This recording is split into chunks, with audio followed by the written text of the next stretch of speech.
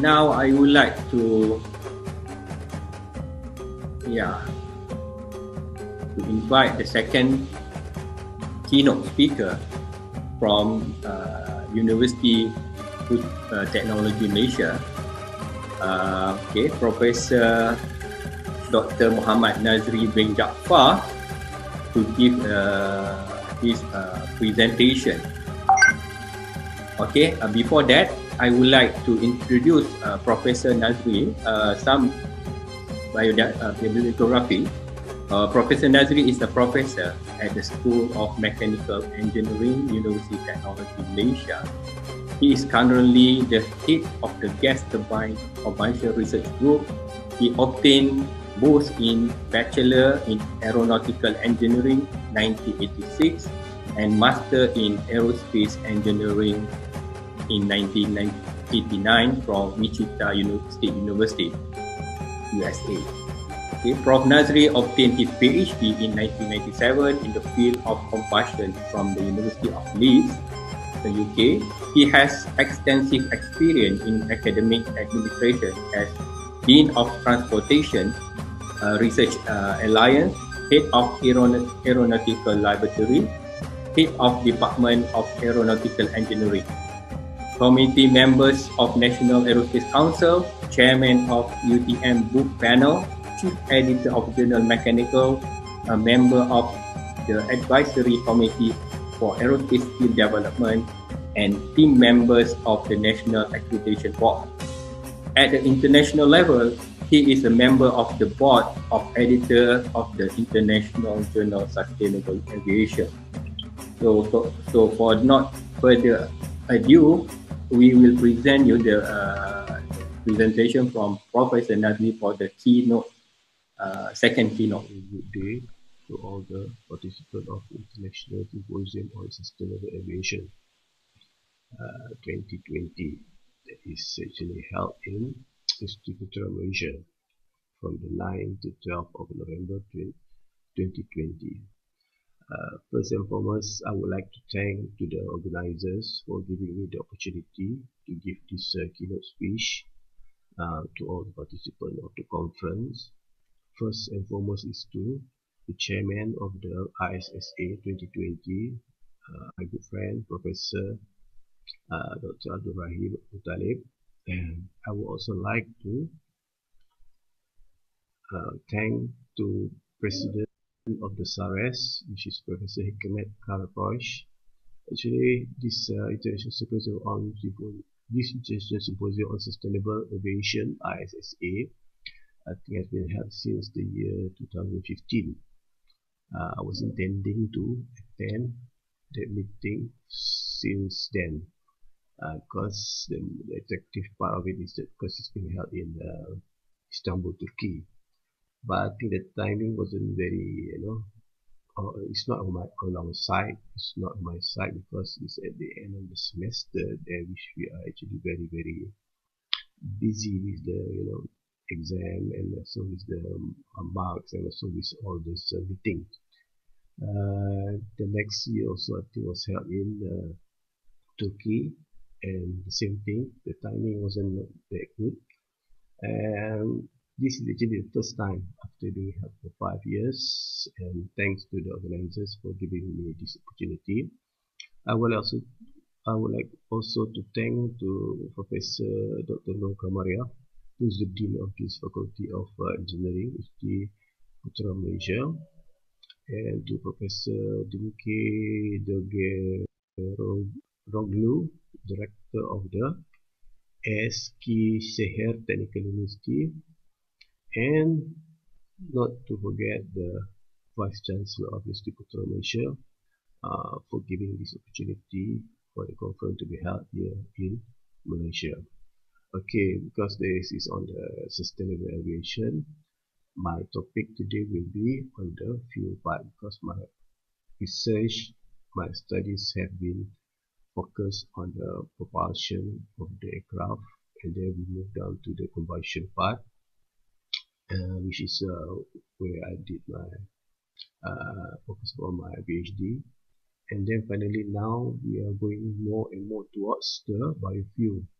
Since the uh, we know the, pro the, the problem is the fossil fuel. And we start to focus first and foremost I did on the bio, biodiesel. And now we move towards bio biojet or what we call it biokerosene um, you can see on the slide that my name is uh, Mohammad Nazri Mohammad Ja'afar. And uh, this is my research group. This is Gas Turbine Commercial Research Group. That's what I've been uh, doing uh, for the last uh, almost uh, 30 years of research. Why do you need it? You know? There are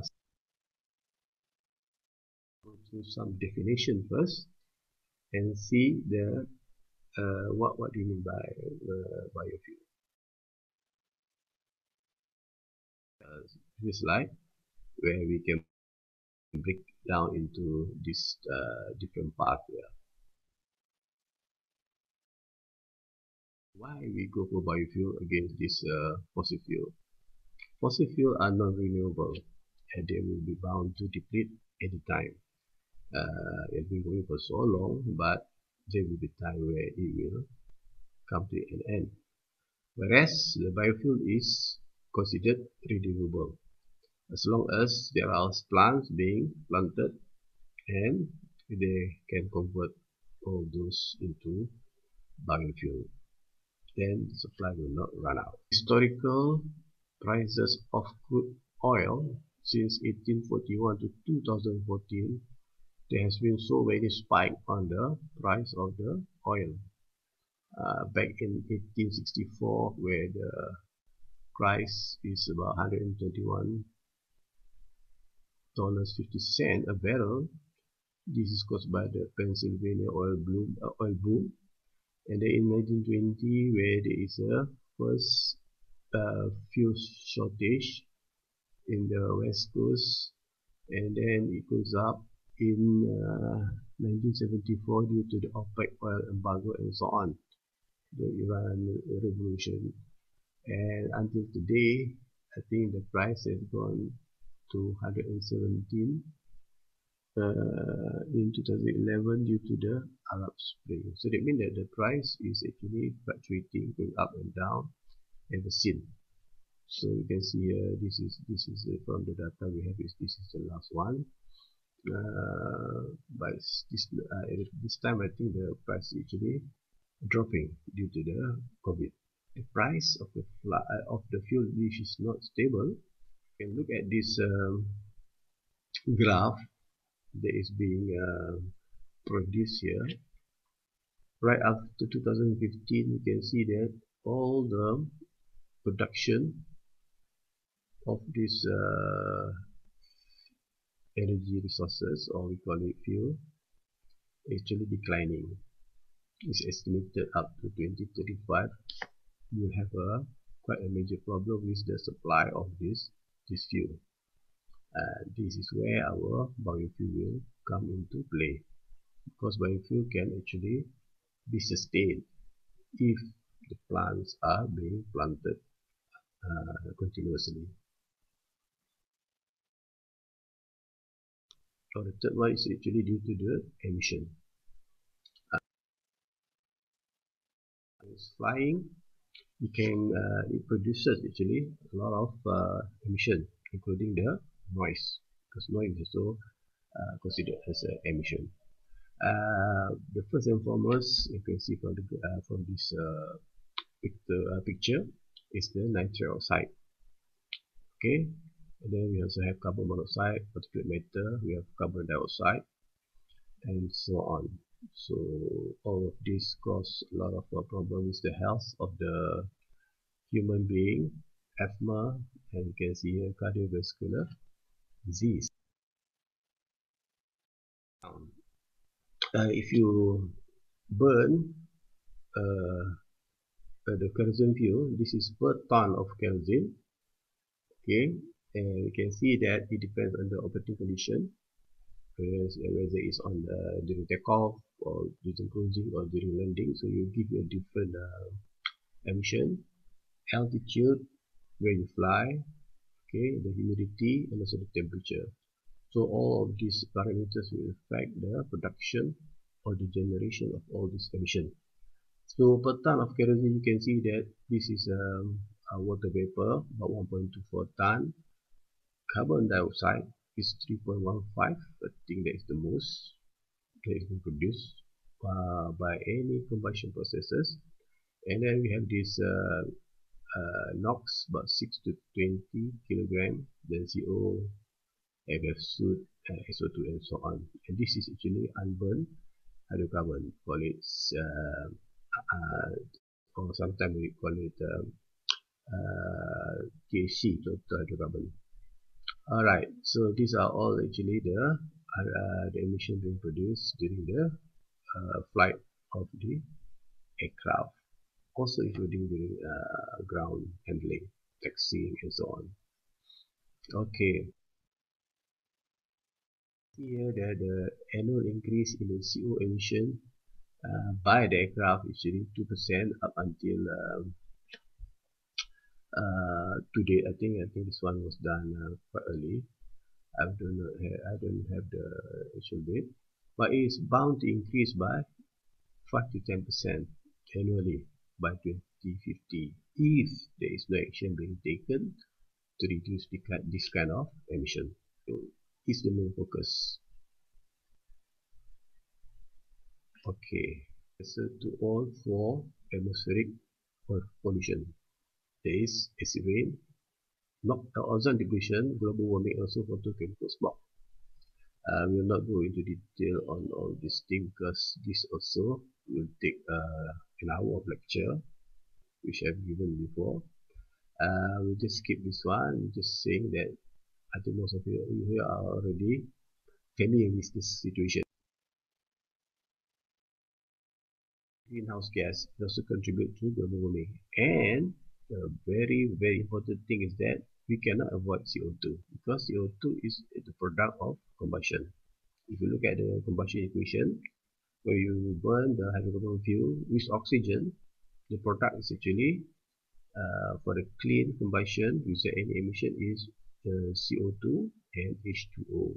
So we cannot avoid this one. It's being generated during uh, any combustion process breakdown of the NOx emission uh, throughout the world, I mean globally, and also by sector. You can see there in the legend here at the very bottom here, uh, transport is actually the green one. So transport include everything, ground transport, air transport, and also the sea transport. Uh, okay, you can see most of the time the transportation sector uh, contribute to the most of the emission everywhere in China, in US, uh, even in the Europe or Asia for that matter. Country in 2014 the data is quite old, uh, but you can see the CO2 emission is uh, being produced by China 50%, uh, United States 15 and the European Union uh, 9% and the rest of the world is actually 30%. Uh, these are the small countries like Japan, Russia and also India. so that's to show how much these countries are producing CO2 to also keep increasing throughout the years. Uh, this data is uh, until 2017. The study has been done by Boden, Allen, and also Andres. Um, they, they showed that the CO2 is actually uh, increasing from time to time and uh, this is uh, from the burning of fossil fuel Essentially, the breakdown of the greenhouse gas, you can see here carbon dioxide contribute to most of the greenhouse gas, which is actually 65%. Uh, carbon um, dioxide from uh, forestry, uh, this is from the fossil fuel. Uh, this is from forestry and then methane and nitrous oxide. So this all comprise the uh, greenhouse gas. So break down from that. Uh, mostly it's from the trucks uh, and then the car uh, and also the uh, heavy heavy trucks. You can see the contribution of aircraft is about 9% of the total. Uh, even though it's not that much if you consider uh, the rest of the other transportation vehicles but the major thing with this aircraft is that it deposits the emission directly into the stratosphere. So this we have to be careful because it can uh, deposit all this emission directly up there. Because the rest of the emission being generated here takes time to move to the stratosphere. They will dissipate uh, to through the time.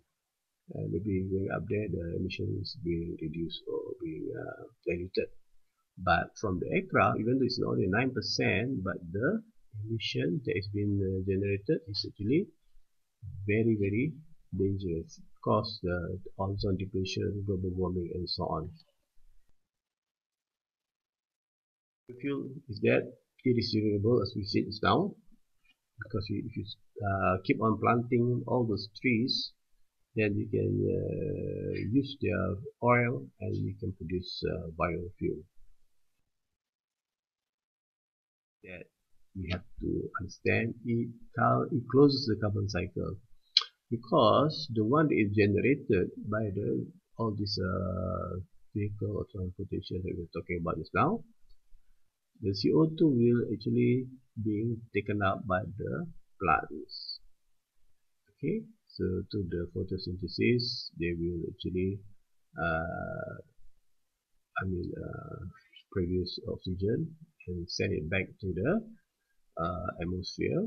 And also the plant we can use to get the oil and we can produce the uh, biodiesel, biofuel and so on from this process used back.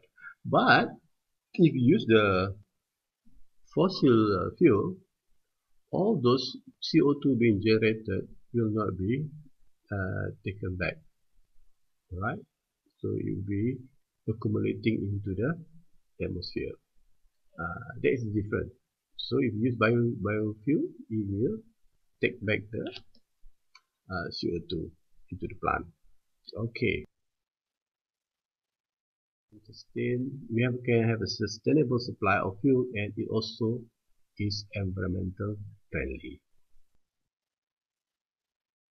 See, it's booming. We cannot avoid that okay? Because people are traveling using aircraft.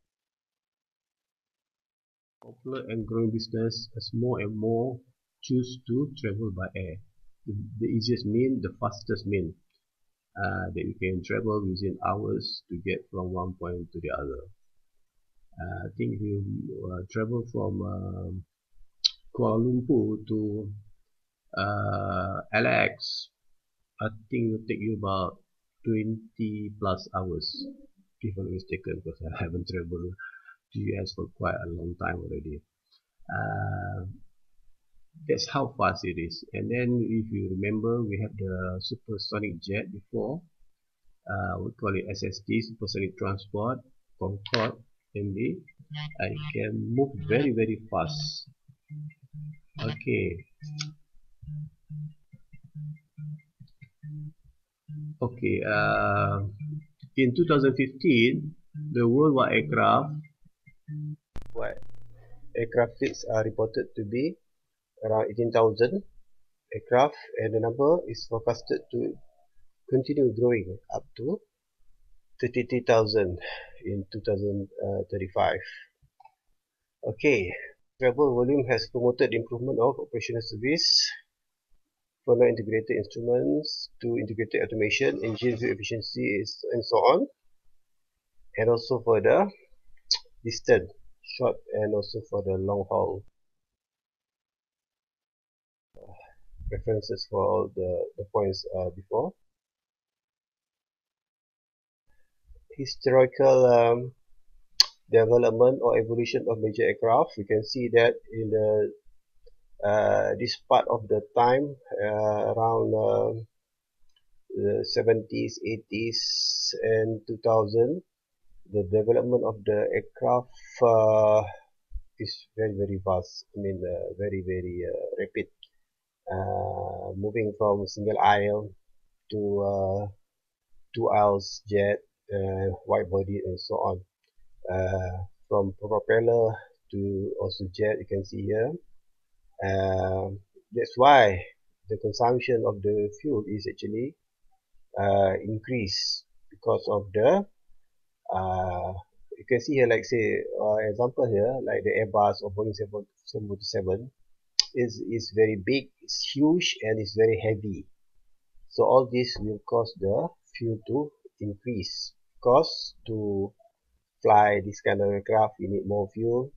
And basically these are all long haul uh, aircraft. They can go very far and very long. So they need to carry a lot of fuel. And they burn also a lot of fuel the engine I'll not indulge in this one too much we start off with a piston reciprocating you uh, remember in 1903 is uh, the first milestone where the aircraft that is powered by the engine and can be controlled has uh, has uh, been flown in Kitty Hawk, small town in uh, South Carolina. And uh, this is a evolution until then, where we have the turbojet engine, and then it moved to turbofan and so on until uh, today.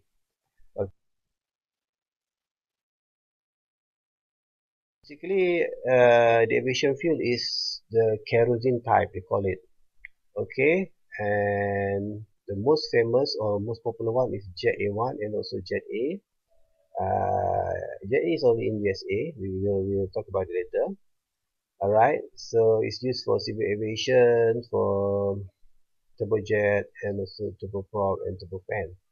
Uh, this is another one. We call it Jet B, which is the mixture of kerosene and gasoline gas is basically used for uh, I mean a piston engine I mean for uh, uh, piston prop and so on and they have more gas and now we are focusing on this kerosene biokerosene uh, which can be used for both civil and also for military uh, but at the moment the bio kerosene is not used uh, 100%. They are actually blended with kerosene in small percentages. We will do that later. Alright, get. So most of it is actually natural gas. Then we have distillate, we have gasoline here. Because this is being consumed so much. The, the, the one that we use for aircraft is here. I mean for the jet engine, which is about 1.76% uh, only right uh, okay for aviation kerosene uh, which is jet A and jet A1 what is the difference uh, the difference is that the jet A1 use um, only outside the America. So in America or United States they use jet A right uh, and jet A is not available outside America. So it has a higher maximum freezing point allowing incorporation of broader distillation cut uh, component. This is uh, this is because uh, at the time I think due to the price of the oil also where USA uh, they produce their their own uh, fuel. We call it jet A. Right this is the difference between jet A and jet A1 uh, quite similar in every aspect. Uh, one of the major difference is actually the freezing point where jet A1 actually have a much lower uh, freezing point biofuel. Uh, there are several advantages of using this biofuel. Uh, it burns cleaner than fossil fuel resulting in fewer emissions, as we mentioned up above that we have a closed carbon cycle there. And because it doesn't have sulfur so the sulfur dioxide also being uh, reduced uh, being reduced. So biofuel also free from sulfur content. And the other good thing is that it's biodegradable the preparation of this uh, aviation biofuel they, they have this uh, several method here which is common. Uh, the alcohol to jet synthesis paraffinic kerosene ATJ SPK we have the synthesized isoparaffin we have a hydroprocessed ester and uh, fatty acid synthetic paraffinic kerosene HEFA SPK and the Fischer top. Uh, there also another one uh, the different type of Fischer-Tropsch this is up to 2012 a lot of countries a lot of airlines has already started uh, producing this biojet. So each country have their own uh, preferences uh, and also each aircraft has actually uh, tested this uh, biofuel, I mean uh, biokerosene on board of the aircraft. So you can see from this uh, particular graph, I mean particular table, most of the time or the maximum it can be used actually has been tested is actually about 50%. Uh, they don't go more than 50% of the biojet. Uh, the rest actually are uh, the, the, the normal kerosene.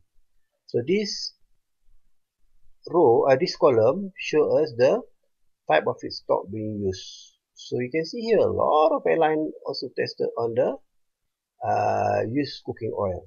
I mean that the one they use for cooking and then you want to throw them away they re reprocess it and make it into biokerosene this is good uh, actually uh, this is actually sustainable you solve a lot of problem uh, problem of uh, how to dispose of this this cooking oil. Uh, you take it back and you produce it into bio biokerosene. Uh, this is the thing that being tested like here. We say one uh, example Finnair. Uh, they use uh, um, uh, uh, cooking oil. Uh, this is the uh, call it? Flight from Amsterdam to Helsinki. Okay? Uh, the number is only one flight. Okay uh, and then we have like Air France from Toulouse to Paris also use uh, use cooking oil Etihad here use also use cooking oil. One flight from Seattle to Abu Dhabi. They also use Jatropha here. You can see uh, Interjet use Jatropha about 27% here. Uh, one flight also from Mexico City to Tuxtla Gutiérrez. Okay, so these are all the example of how, uh, no, I mean, um, what type of feedstock being used and where you they use it. Okay so most of these airline here can be the list here. Have already uh, used bio as the type of uh, vegetable oil. So now that's why we come in our group gas turbine commercial research group we studied on a different type of feedstock that is common with our shows palm oil and coconut oil. Okay? The production of the uh, this oil globally. Okay? This is in 2006 we have like 29% is from palm. And then we have uh, this is soya uh, rapeseed uh, sunflower and also uh, others. So you can see that palm oil is uh, produced a lot here. So 20 29% of the world oil production here. So that's why we can utilize this uh, palm oil as a biokerosene palm itself we have the palm kernel we have the mesocarp and so on. You can use for our bio biojet. You can see here uh, you can use also the uh, the coconut uh, flesh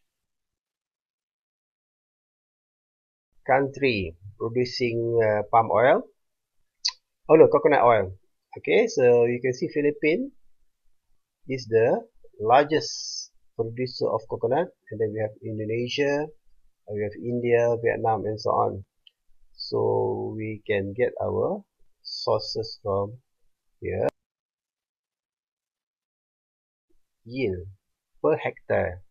So from here you can see the palm give us the highest yield uh, per hectare per year. So that means you can get a lot of oil from there within a small or within the same size of land compared to the rest. Action from coconut oil uh, because I will tell you why we focus on coconut oil rather than palm. Yeah, I will show you the result that we have done uh, for the last uh, we started I think in 2016 or 17 so for the last four or five years that we have already doing this uh, research on biojet. Kerosene or sometimes they call it biokerosene sometimes they call it biojet uh, it depends. Uh, I think biojet is easier to to I mean uh, to say rather than biokerosene which is a bit longer. But biokerosene is uh, re referring to the comparison of it. Like say biodiesel compare with diesel. So biokerosene should be the one we use because it compare us to the kerosene fuel used for aircraft uh, uh, of kerosene over the petrol uh, where they have a higher flash point and so on, higher density and so on. Okay, we're not going to industry system too long. Also, some properties which is very very important. So when we going to produce our biojet or biokerosene again, so this will be our main focus. We have to look at all these uh, properties so that these properties will have a very similar properties to kerosene from fossil fuel that has been used in aircraft for so long. So if the quality of all these properties did not meet the uh, minimum requirement, so it cannot be used as a biojet. So we have a viscosity. There are also the um, what you call it uh, the properties of concern. There's a list, a long list of it. Uh, we have to show it here. At the moment, uh, there are actually four most common type used to produce biokerosene. And then they have alcohol to jet, ATJ, gas to jet, also sugar to jet. So in our case, we focus on this oil to jet. Because we use oil from the vegetable or from plant like palm and so on we convert them into uh, jet fuel which is uh, biokerosene you can also use uh, the waste cooking oil or you call it used cooking oil because that also is in the form of oil. So we use this uh, process they call it HEFA which is hydroprocess ester and fatty acid. Alright use it we use thermal catalytic cracking. So we need to use some catalyst to enhance the production. So the process is called deoxygenation where we can actually play around with these three parameters here temperature catalyst and pressure. So we can uh, have a different product if you use let's say different catalysts then the yield will be different and then the properties will be different. Uh, the carbon number that we get also will be different from the one that uh, produced by using different uh, catalysts. Okay? Actually the path being taken there are two main routes which is decarboxylation and also decarbonylation. So both of them actually will happen uh, according to the uh, condition. Alright? They will produce uh, all these uh, product here.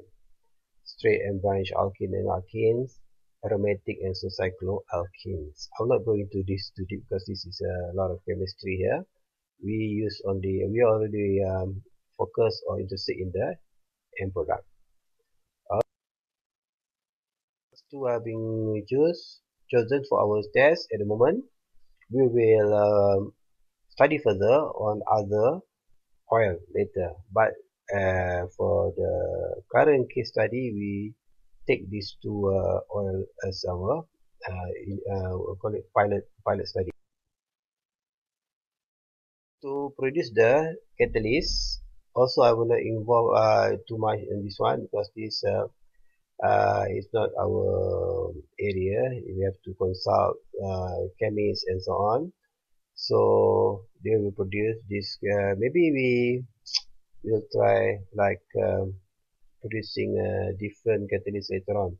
But at the moment, this is what we are using alumina type. Okay, so this up come to almost around 80% of hydrocarbon. Also, two and a half hour is actually the limit. If you push further up to three hours or so, uh, you will not yield further. Alright, so that means that duration time has its limit also. But again, I would like to remind that this is only true for the catalyst we use. If you run another catalyst, it might give us a different uh, result. Okay, effect of the catalyst loading. So that means that about 4, about 5% is actually our limit. Okay, if you go further than 5%, and we are not going to get any further uh, increase in the hydrocarbon yield. So actually, this study is actually on still ongoing. Why? Because it's being disrupted by the COVID situation. So all the testing has to be stopped and then as we start back in June it will slow down, uh, slow down because of the condition and then all our results are actually bottleneck in the uh, lab analysis lab actually. We send out for analysis and until today uh, we cannot get our result of the analysis because the queue is too long and the covid caused it um, to stop for a while i think about two months and then now when they start back the list is actually increasing. So that's why we cannot have a further result uh, on the properties other properties we will get and at the moment we are already producing a lot more of this oil but we can characteristic so later on we would like to indulge ourselves in the other oil.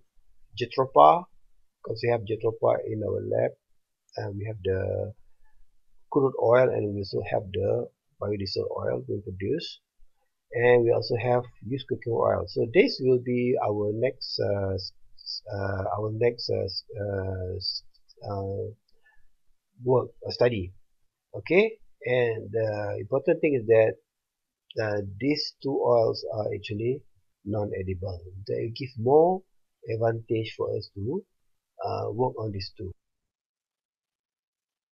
We produce the biojet. So where do we test it? Okay? We need to test it somewhere. We cannot use it on the aircraft because no airline will allow us to do that so we don't have any uh, equipment to do that. So what we have to do is we have to build ourselves. So what we micro gas turbine in our lab. And of this um, micro gas turbine actually the micro gas turbine we developed is actually from a turbocharger you can see a turbocharger. So what we did is actually this part here the combustion chamber part. Alright? So this is our uh, design. Um, combustor this is the fuel injector. I will call it? The outer casing and this is the inner casing of the micro the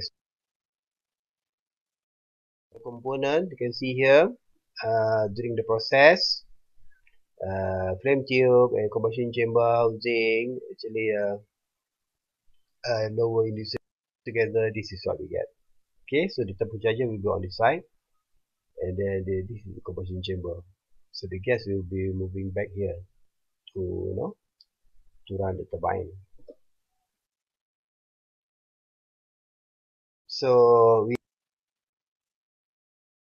control uh, panel here. They can also monitor the uh, pressure and temperature at certain point. Alright, so these are all being designed and developed uh, in our lab. Here, we managed to get the uh, flame here. So that means that it's being is burning actually. It can burn and we can test the fuel. Alright. This in large quantity, so we cannot test it on the biojet yet, but to, to make sure that the microgas turbine is in uh, working order, what we do, we use the biodiesel using because the the microgas turbine was also developed to run biodiesel, uh, uh, not only on bio biojet. The important thing that we already established that this microgas turbine is workable. So later on when we get our biokerosene uh, ready, we'll blend it with uh, kerosene and we'll test it on this. So that is our uh, study uh, to show to share with the rest uh, I would like to thanks this uh, uh, uh, entity and also the you know uh, people involved. Uh, the fuel production we have the fundamental research grant scheme title optimization study of conversion of triglyceride to kerosene type aviation fuel via catalytic deoxidation method. As you know, this is a FRGS scheme is already from the uh, Ministry of Higher Education. Uh, they given us uh, money every year. Uh, we have to apply for it actually. They don't give it directly. okay, and then for the microgas turbine also from Ministry of Higher Education also under the prototype research grant scheme. So microgas turbine capable of utilizing various liquid fuel. So actually I got all both grant in 2017 and we managed to actually uh, get both of them to work. I mean, we managed to get the biojet and we managed to come up with this micro gas turbine. So thanks to the Ministry of Higher Education for giving us the opportunity to develop this thing and we can use it when we can actually uh, study further. Okay, we can use study different feedstock and also we can study different catalysts. We can, there is a lot of parameter. Actually, there's a lot of studies can be done. That's why I'm giving the opportunity here for those who haven't had the you know, PhD yet, uh, any participant out there who are interested to do this kind of research, they are welcome to come to UC Technology Malaysia. They can, can contact me and also you can you know apply for uh, the postgraduate study. Uh, we have this uh, uh, thing going on in our lab at the gas turbine uh, at the gas turbine commercial research group lab. And also I'd like to thank uh, these two students who helped me uh, because they are both under these uh, two projects. One is to do the microgas turbine and the other one doing on the uh, Miss Anis here is doing on the biojet. So thank you again for listening. Thank you very much and uh, have a very Okay, thank you uh, Prof. Nazri from UTM for the presentation of the biofuel. So now I open the screen for Q&A session. Perhaps I can have several questions. You can ask from through my and also the chat. Huh? Thank you. I open the uh, I open the screen now. Uh, by the way, uh, first and foremost, I would like to apologize for the quality of the sound in the beginning of the recording. Actually, I want to do the recording in UTM, but suddenly uh, we are not allowed to enter UTM starting 1st November. So that's why I have to do at home using the PowerPoint recording. So luckily at towards the end, the quality of the, the audio quality is a bit better. Okay, if there is any uh, question, you can ask.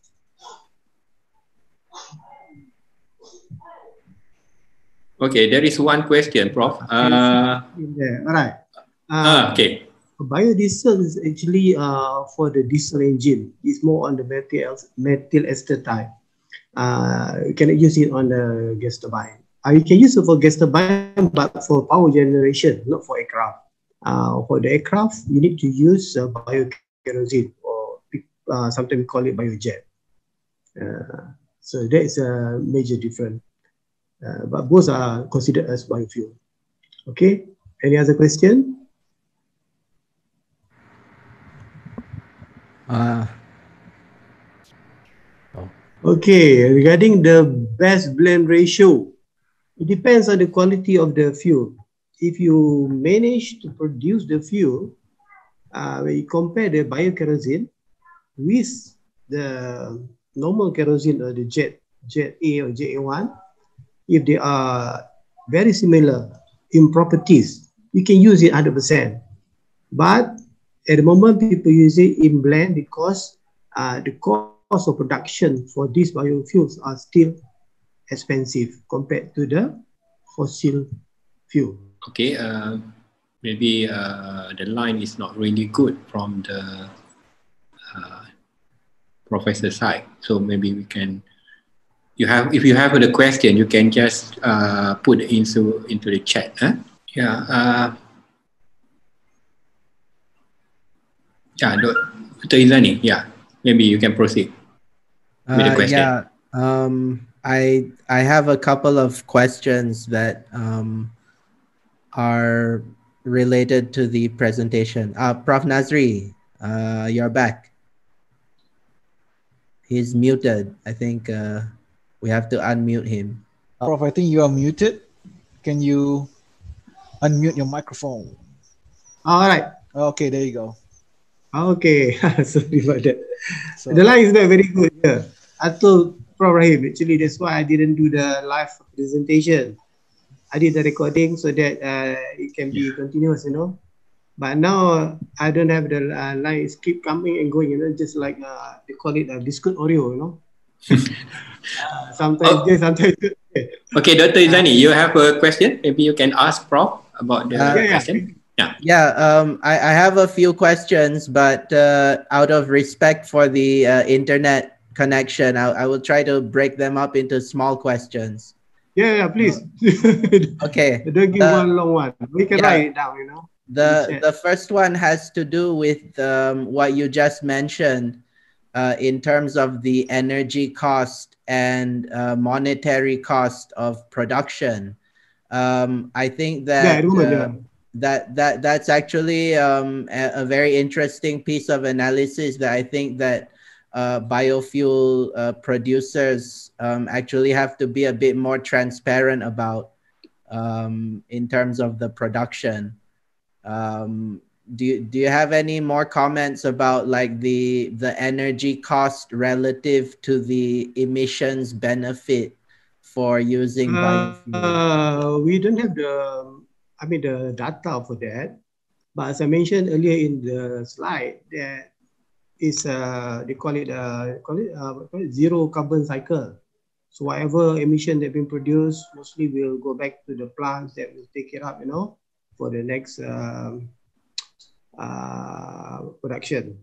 So it close the, the, the, the carbon loop compared to the uh, compared to the fossil fuel. I mean the for the fossil kerosene uh, in terms of uh, real uh, data compared like apple to apple, we don't have it at the moment.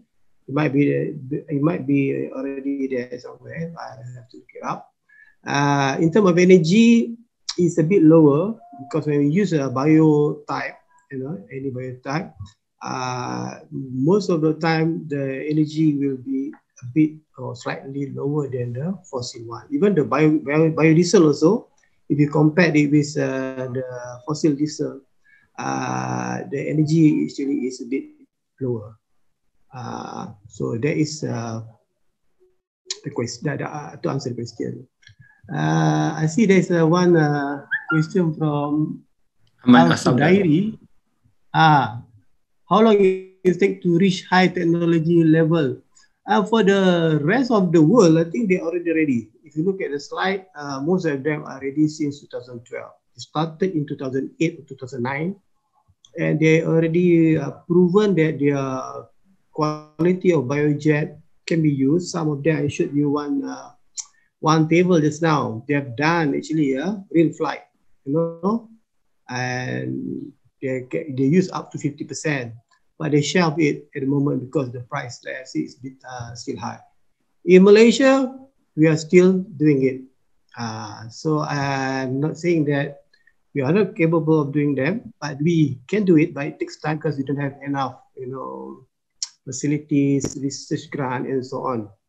Hopefully, we can get more research grant, and then maybe, inshallah, we'll try to, you know, expedite. But you have to go for small, I have to go for large scale production, and we cannot do that in our lab. We can do it very small. That's why I'm saying that we still have yet to test the, you know, the biojet on our develop, I mean, the one that we've fabricated, the, you know, microgas turbine. We'll try to do it then uh, in due time. But again, if you see that the, the problem with uh, COVID until today, you know, a lot of things cannot be, you know, cannot be done. Everything will stop, having delayed and so on. Okay, any other Okay. question?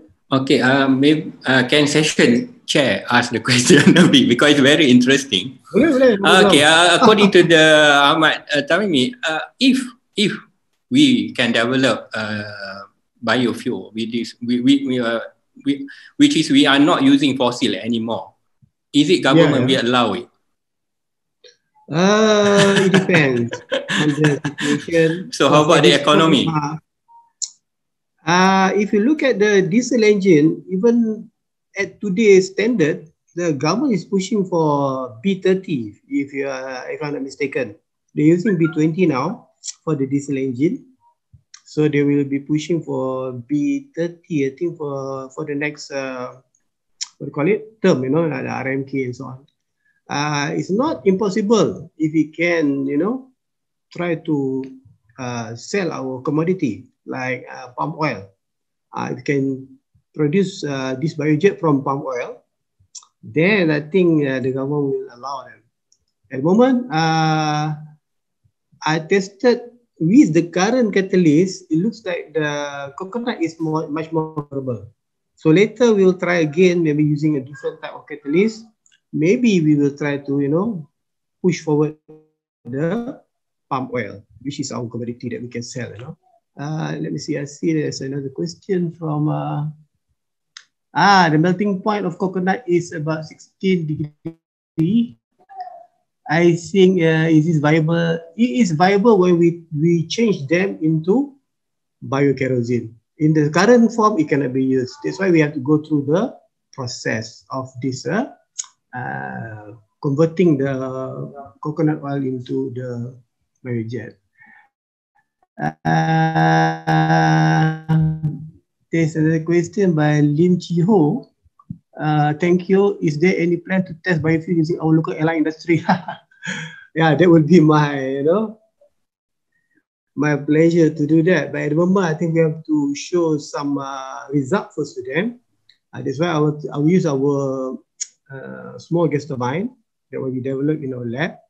And we have to run uh, a lot of tests before we can, you know, actually convince our local, do call this, uh, airlines to test them.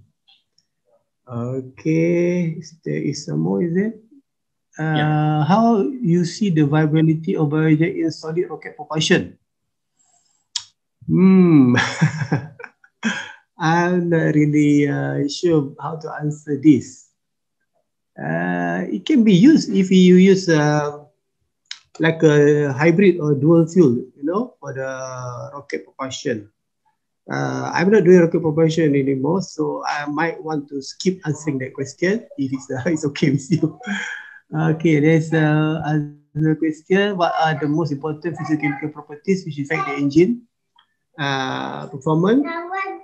uh, one of the things is that the the properties of the fuel is that uh, is uh, viscosity. Because viscosity is very important when you want to when you want to uh, use them in the aircraft. We have a problem of uh, how to pump the the oil, uh, the fuel. Oh, sorry. okay.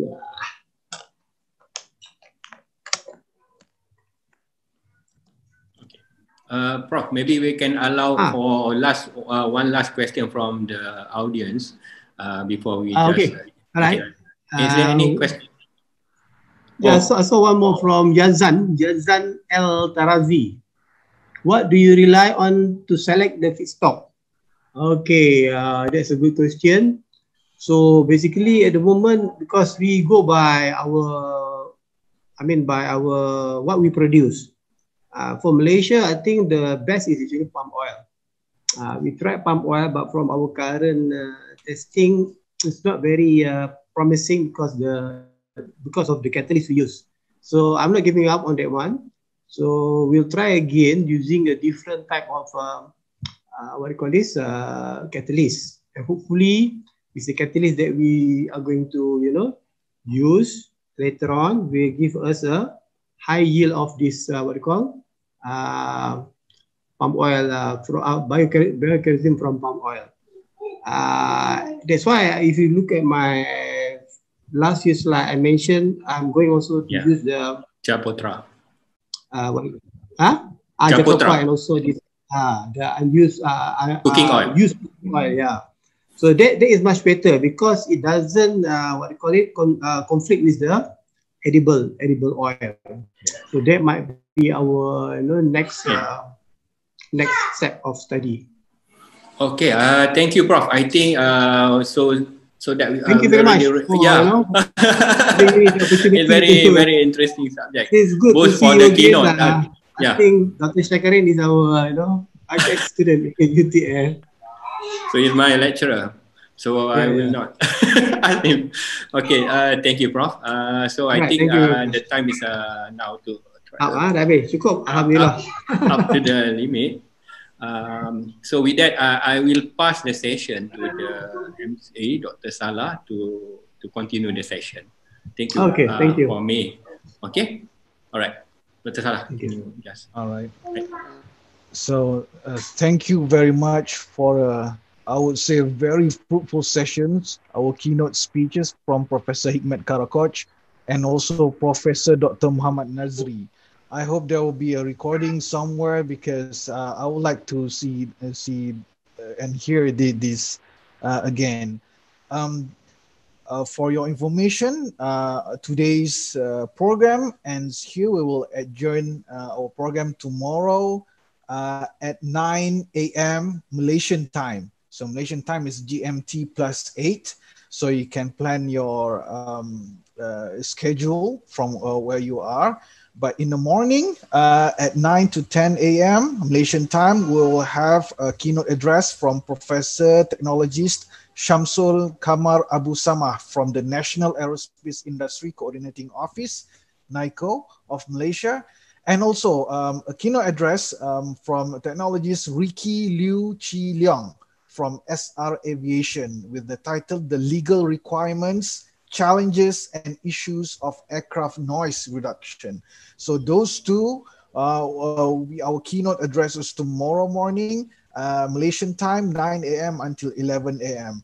And also, please be ready for our uh, for all our presenters. We will start our um, sessions um, uh, presentation at 11 a.m. Malaysian time, uh, and it will continue until 6 p.m. Malaysian time. So you can uh, check the schedule in the website ISSA 2020. Um, I hope you can check your schedule, which um, uh, time slot you are assigned in, and um, for now, I think uh, we will uh, end our program today with um, a few videos that we want to show um, everyone. So uh, thank you very much, everyone. I would like to probably ask uh, Dr. Muhammad Faisal to uh, show some of these videos.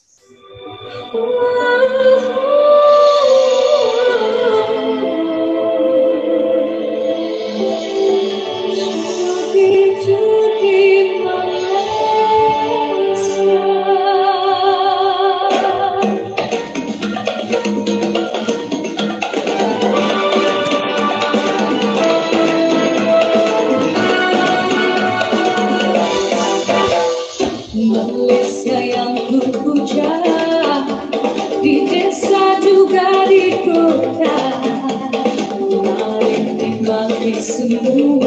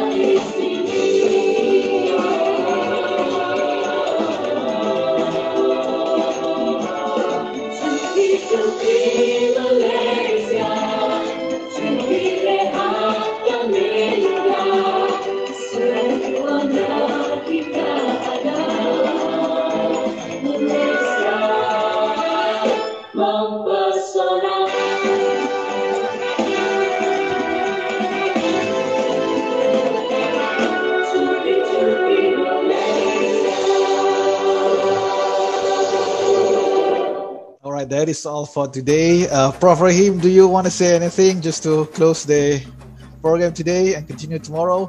Okay. Um, thank you very much, Dr. Salahuddin, for this yeah. uh, excellent uh, chairing of the session. Opening goes to keynote one and two. Thank you very much to Dr. Azmin and Dr. Faisal for uh, handling the keynote session and my uh, heart welcome and uh, thank you to Professor Hikmet. He's still here until the end of day one and uh, and also my good friend Professor Nazri. So I'll be we will be seeing you guys again tomorrow morning or tomorrow very morning in Turkey. okay. Okay, so we will uh, try to have the video recording and uh, we will post uh, for those who miss it, you will be able to see it uh, later right so we'll see you guys again tomorrow for more exciting presentation thank you and assalamualaikum warahmatullahi wabarakatuh Waalaikumsalam. See you all of you. Bye bye. Bye. Waalaikumsalam. Thank you. Thank you. And see you.